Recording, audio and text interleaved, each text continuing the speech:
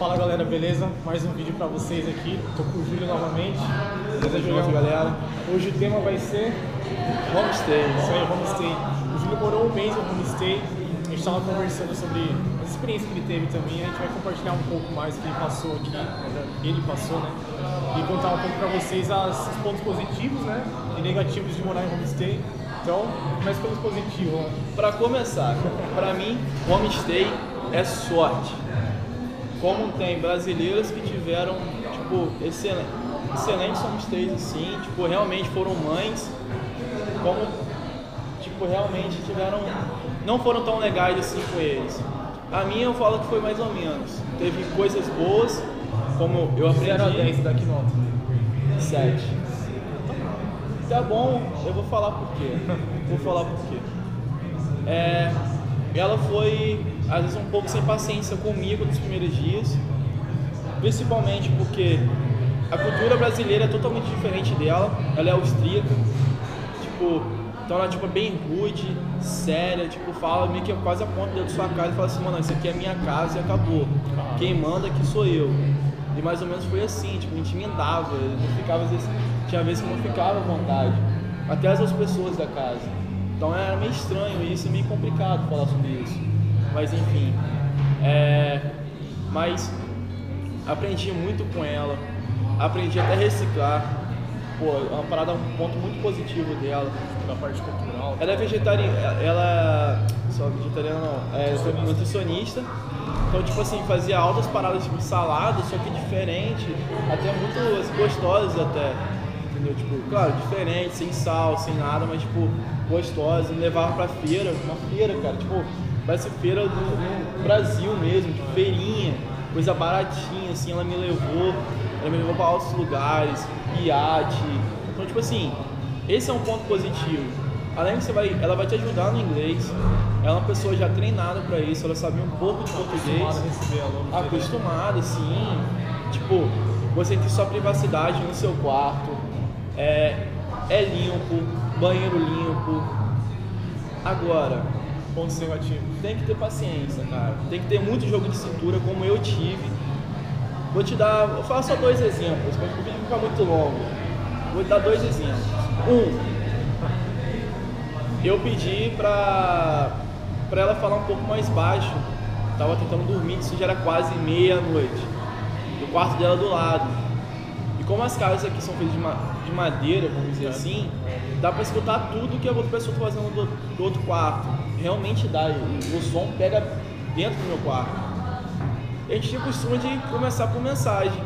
Aí eu cheguei pra ela assim e falei, Cis, por favor, é, você poderia falar um pouco mais baixo, eu tô não dormir, tô com dor de cabeça tal. Só que eu falei, Shut up. shut up. Eu lá vou saber que shut up e cala a boca, peguei, eu não tenho inglês, então tipo, Google Tradutor foi o que traduziu pra mim, copiei e colei. Mandei. Pô, ela podia ter pelo ter essa noção. Pô, cara, quarto dia, mano, meu, foi quarto, não, foi terceiro dia meu de, de homestay, assim, lá, frequentando, dormindo. Então, ela veio no outro dia falando assim, mano, aqui é minha casa, quem manda aqui sou eu, eu faço o que eu quiser, que não sei, que tipo, ponta um dedo assim, falando. Eu só baixei a cabeça e fiquei, fiquei muito intimidado, cara, pelo modo que ela falou comigo. Outra, comida vai ser sem sal, a comida não é gostosa, não é gostosa. Quem é independente, galera, você não vai poder cozinhar, você não vai poder é, lavar sua roupa. é, Um banho por dia. Um banho por dia. Bom, bom, bom você me lembrou. Só um banho por dia, outra. Banho em 5 minutos. Ah, também? É, ela fala, Tem não, como é 5 dia. minutos por dia, 5 minutos por dia está excelente. Então, tipo assim, cara, como tem homestay, que nem um amigo meu, pegou homestay com os pais dele, tem um restaurante aqui, chiquérrimo aqui, o cara almoça no restaurante, janta no restaurante, só comida excelente, leva ele pra viajar, vamos dizer, os pais dele são ricos, então, tipo assim, eles fazem por amor. E Dele, situação que você passou do carro lá? ah, do carro, velho. A segunda, que eu achei bizarro. Aí chegou do iate, lá, um passeio maravilhoso, tudo perfeito, cara. Tudo perfeito mesmo. Aí, então, ela abriu a mala, vamos colocar as coisas na mala, falou assim, ó, vou no banheiro. Só que quando ela abriu a mala, ela também abriu a janela do carro e ligou o carro. Aí começou o quê? O som do, do rádio ligado. Cheguei pra ela e chamei, calma, please. Esse, pra, eu ia chamar pra mostrar ela que o som ficou o carro estava ligado e o som ligado. Ela não é one, one minute, tipo um minuto, tipo já volto. Beleza, fiquei esperando lá, entrei dentro do carro, mas menina tá dentro do carro, ficamos esperando ela. Quando ela voltou, ela viu que o som estava ligado no carro. Aí começou, meu irmão. Ela assim, uh, é tipo, quem que ligou, quem que ligou o som, quem que ligou o carro? E começou falando comigo como se eu tivesse ligado o carro.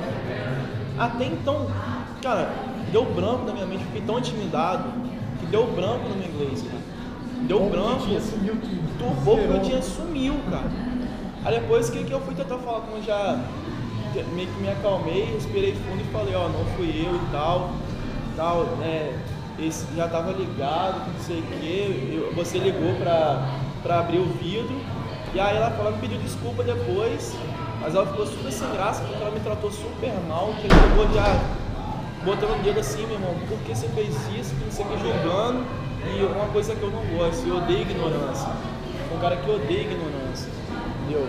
Então, tipo assim, é sorte, você vai ter que ter jogo de cintura, entendeu? Como você vai pegar um homestay muito bom, como você vai pegar um homestay...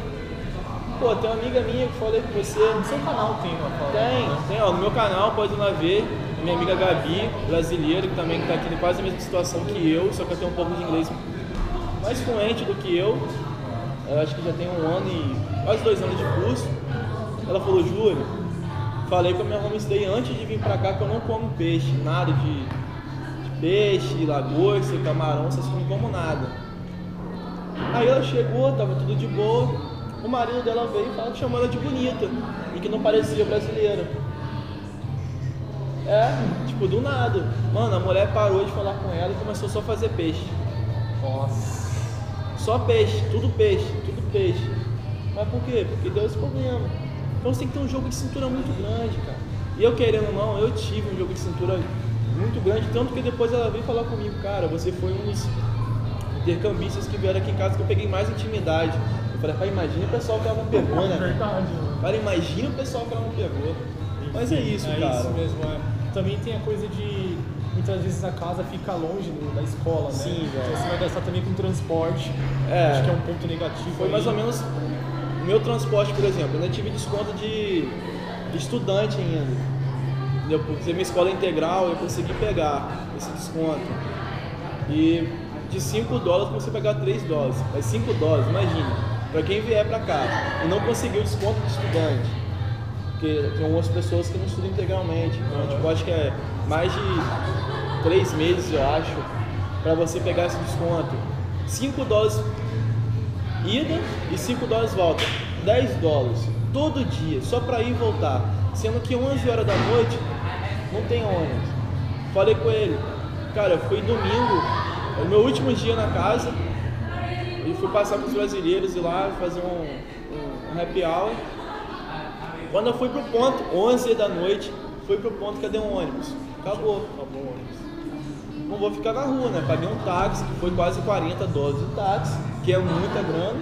Mas por quê? Porque não tinha ônibus 11 horas da noite. Então você fica preso. Aí você tem balada que você quer ir, você não pode porque você fica preso porque é longe. E não tem. Então, pessoal, é bom sempre dar uma boa pesquisada na sua agência sobre homestay que você vai ficar. Dá pra fazer um, como é que se fala? Um alinhamento antes, né? De, tem cachorro? Não tem? É, tem criança? Não tem? Às vezes dá certo, às vezes não. Cara, o que eu recomendo, cara, pra uma pessoa que vem ficar aqui três meses, eu recomendo vir um mês no Fecha um mês. pra você viver essa experiência que eu passei, que eu vivi.